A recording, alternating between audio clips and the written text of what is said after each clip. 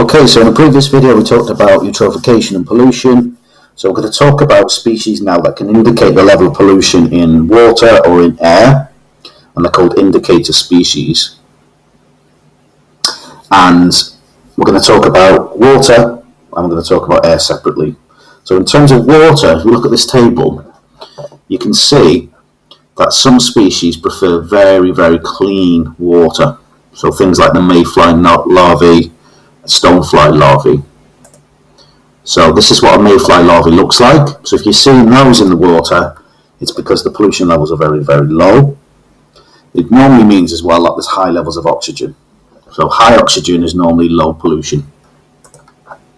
Um, you'll also probably find freshwater shrimp. So freshwater shrimp, like um, relatively low or non-existent pollution levels.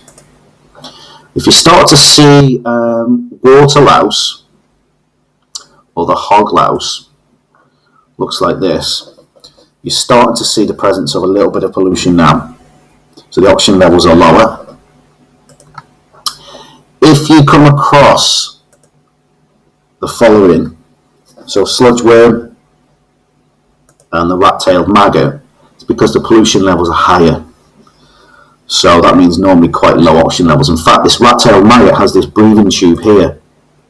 So if you look at this breathing tube, this is actually above the surface. So if you imagine this is the surface level, it's using it to actually get oxygen from the air. This bit sits below the water level. So the oxygen level is so low, it's had to adapt it to have this breathing tube. So if you're seeing certain species, mayfly larvae, stonefly larvae, you know it's clean water. But if you start to see the presence of things like the water louse, hog louse, rat-tailed maggot, sludge worm, then you know the pollution level is starting to increase, so less oxygen. So that's the water indicator. It's normally connected to oxygen levels. In terms of the air, you may come across these in woodlands and cemetery gravestones because they're normally clean air, normally away from busy roads and motorways and factories. Um, these are actually a type of fungus lichen. Um, there's three types of lichens. You've got the bushy lichens, which love clean air.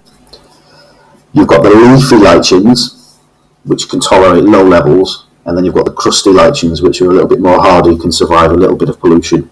But generally, if you see a lot of lichens, you know there's a very, very clean air, very, very low levels of SO2, which is sulfur dioxide.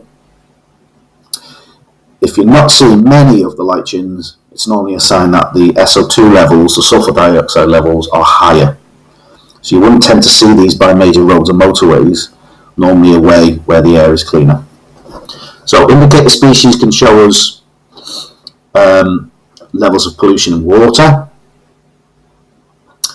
and they can also show us levels of pollution in the air. Thank you.